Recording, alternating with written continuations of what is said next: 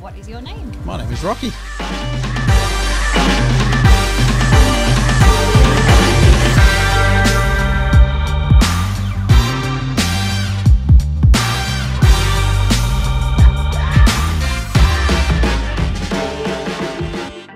You were a chef. Yes, I was. Tell us about your signature dishes. So um, I don't really have any signature dishes, but I was really good at cooking pastas and steaks. You're always on the phone. What do you do when you're not on the phone?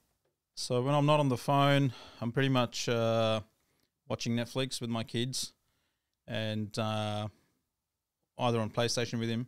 Dream holiday location. Switzerland. Even though I don't know much about Switzerland, but for some reason I always wanted to go there. You're drawn to it. Awesome. You can speak three languages. Yes. What's the weirdest Aussie slang? G'day, mate. I think that's the that's the weirdest for me. And the other one I would say is, "How you going, mate?" Lottery today, what would be the first thing that you'd buy? I'd buy a home.